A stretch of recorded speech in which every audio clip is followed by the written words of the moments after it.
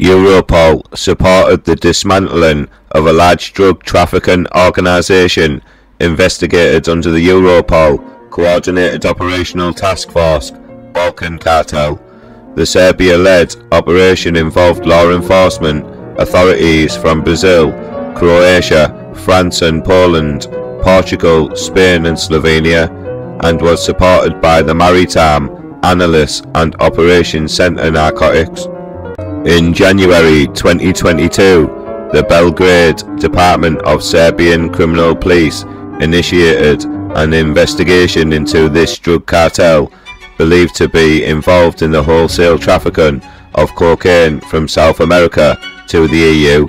The law enforcement activities against this network extended to authorities across the EU and beyond, resulting in a large international investigation coordinated by Europol.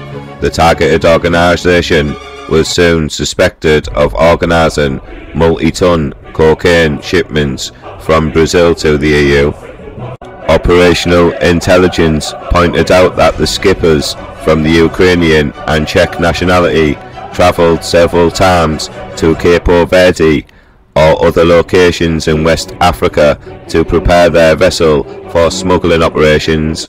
Recently uncovered operational information revealed that the vessel was located in Brazil.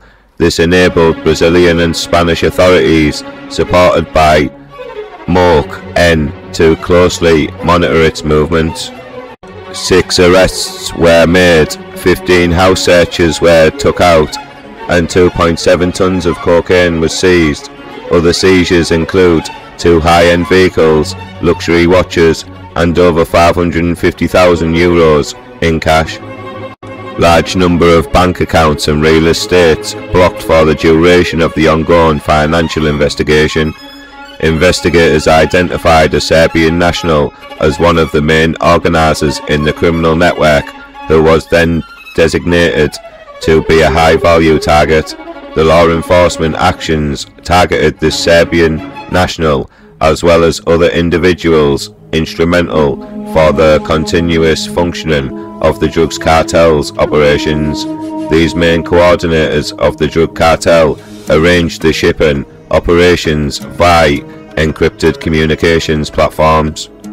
Europol facilitated the exchange of information and provided continuous analytic support to the investigation. The intelligence development revealed a complete covered network operating across continents and countries, Europol facilitated the coordination among the national authorities and deployed an expert to Belgrade on the action day to support investigations on the field. Europol was also facilitated in the deployment of two Serbian investigators to team with the Spanish authorities during the searches of the seized vessel the takedown of three encrypted communications tools used by criminals, namely EncroChat and Sky ECC and Anom, has given international law enforcement an unprecedented insight into the criminal networks and how they function.